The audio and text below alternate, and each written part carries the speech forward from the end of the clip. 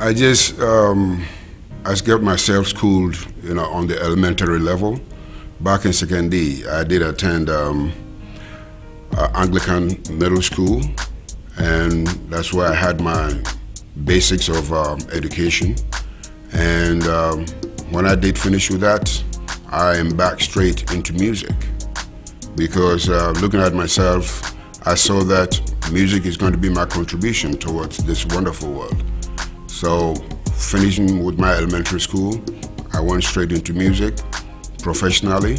I started music back in 1969. That's where I did start with my professionalism in music.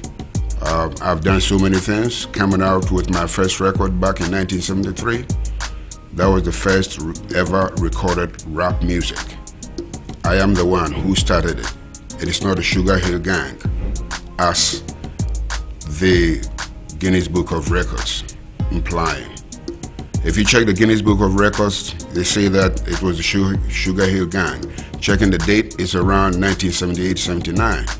My record commercially came out in 1973, and that was the first ever recorded rap music in the world, not only in Ghana. I've had a chance also traveling to America perform with American musicians, recording in America as well as in Europe.